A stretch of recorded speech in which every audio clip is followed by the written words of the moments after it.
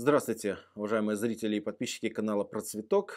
С вами я, Сергей Жардецкий, старший преподаватель кафедры генетики биологического факультета БГУ. А, сегодня мы поговорим о хранении биологических препаратов, если они у вас остались от предыдущего сезона или от предыдущего внесения этих живых культур непосредственно в почву, либо после полива. А, сразу хочу сказать, здесь разница заключается в том, в какой форме этот биологический препарат находится. Если он продавался в форме спор, в сухом виде, и вы приготовили из него жидкую форму непосредственно для использования, то жидкую форму хранить в принципе не рекомендуется. Как правило, у каждого садовода на участке есть место хранения органических отходов. Это яма, скажем так, для перегноя. Все пусть идет туда там точно это не будет лишним. А вот э, сухие препараты, э, которые еще не были активированы, споры, либо это паста, который, в форме которой часто продается сенная палочка, ее мы укрываем герметично, оставляем в температурах э, от 0 примерно до 10, то есть та температура, которая позволяет находиться в, состоянии покоя спор. И в таком состоянии препарат э, абсолютно будет пригоден на следующем, в следующем сезоне. Но единственное, что э, не нужно допускать э, промерзания. Да, споры в принципе выдерживают, но если вы оставите эти препараты в сарайчике, грубо говоря, в техническом домике на участке, где зимой будет такая же температура, как на улице, то активность препарата, конечно, будет снижена. Итак, выводы. Приготовленный к использованию препарат не хранится больше нескольких дней. А, препарат в изначальном а, состоянии в форме спор может храниться до двух лет, если, конечно же, он упакован герметично и влага не попала для инициирования спор. А, нежелательно препарат, конечно же, хранить э, вместе с пищевыми продуктами. Да, вы можете для соблюдения постоянной температуры поместить в холодильник упаковку, но это я бы посчитал, как правило, дурного тона. Все приготовленные препараты идут в компостную яму. Там это будет очень полезно. А, далее, при хранении биологических препаратов соблюдать требования производителя.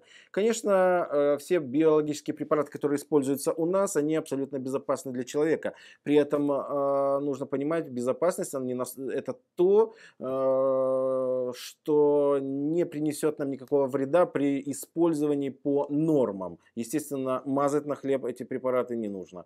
Я всегда привожу основной пример. Безопасность любого биологического препарата настолько реально, насколько реально безопасность обычного навоза или компоста. Вот как бы вы относились к, этим уже известным биологическим препаратам компост и навоз, точно так же нужно относиться к биологическим препаратам на основе любых живых организмов, будь то бактерии, грибки, а, либо это а, водоросли. Э, препараты водорослей хранятся недолго, потому что они, э, как правило, живые. И э, опять же, смотрите все рекомендации на упаковке. Тут есть некоторые нюансы. Биологические препараты на основе вирусов, они у нас еще редки. И, конечно, как бы мы не боялись слова «вирус» в связи с текущими у нас скажем так, заболеваниями населения ковидом, а, не стоит бояться вирусных препаратов по той простой причине, что вирусы, как в принципе и все микроорганизмы, патогенные, либо дружественные нам, они настолько избирательны, насколько избирателен сам человек, э, который приходит к себе на грядку. Грубо говоря, если вам поручить прополку лука, то вы не вы абсолютно все уничтожите на этой грядке, кроме лука. Вот точно так же действуют и микроорганизмы, и тем более вирусы. Избирательность их а, просто ошеломительная. А, бояться биологических препаратов, где бы они ни хранились, не следует. Самое главное, не подвергать прямым солнечным лучам. Этого боятся практически абсолютно все биологические препараты, вернее все живые начала в этих препаратах. Э, кванты света ультрафиолетового в особенности способны убить э, практически любую живую клетку. Поэтому всегда храним, естественно, в темных местах.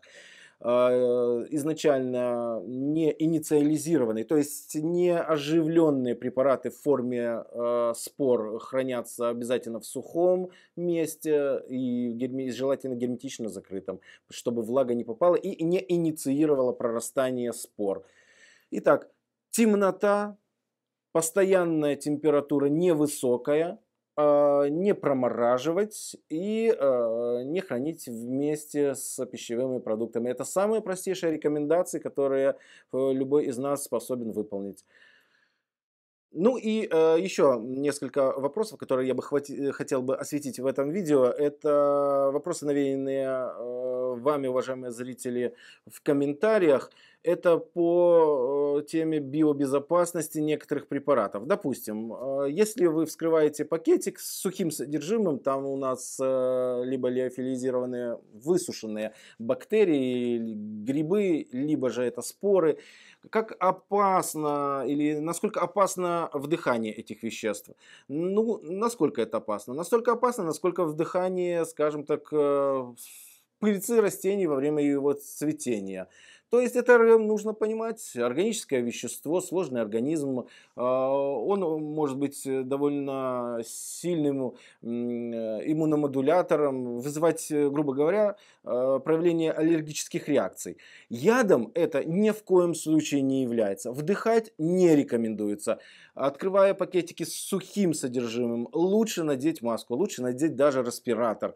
Ну, просто чтобы потом у вас не было высыпаний на коже, скажем так, и либо не было э, явлений э, спазма бронхов. Э, но это ни в коем случае не яд. Э, опять же, вопрос по безопасности того же самого метаризиума. А, когда он попадает в почву, и может ли он каким-либо путем потом, убивая насекомых, потом проникнуть к нам в организм.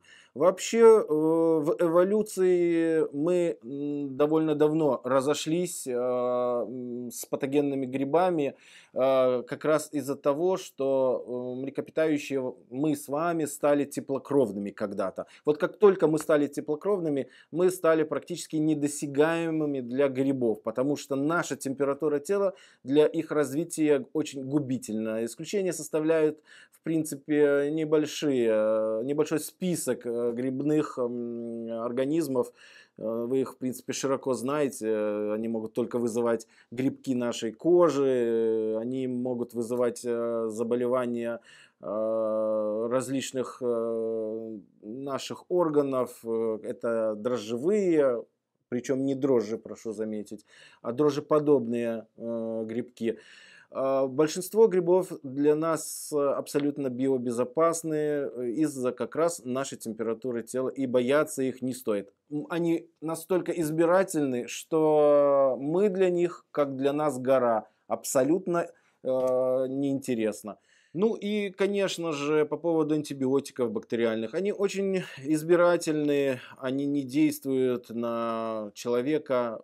Как правило, они действуют на те компоненты э, бактериальных или грибных клеток, которые у нас с вами нет, либо они иные. Соответственно, повлиять на наше здоровье они тоже никаким образом не могут. Бояться абсолютно не стоит. А, те грибы, э, которые паразитируют на насекомых, либо на других грибах, они эволюционно приспособлены к паразитированию и уничтожению только тех а, видов организмов, на которых они обитают. Вот. Э, нам они опасны только просто по причине своей, э, ж, своего живого происхождения. То есть настолько, насколько нам опасна пыль, насколько нам опасна э, грязь, настолько, насколько нам опасно вдыхать любые э, органические элементы. Мы же и муку можем вдохнуть и после этого э, кашлять целый час. Поэтому и не говорим о ее биоопасности. Вот, это простейшие факты, которые я хотел до вас донести в этом видео. Надеюсь, они будут э, вам полезны. И опять, э, опять же, э, призываю вас не бояться использования биологических препаратов. Подписывайтесь на наш канал, ставьте лайки, если видео было вам полезно. Пишите, естественно, комментарии. И до скорой встречи.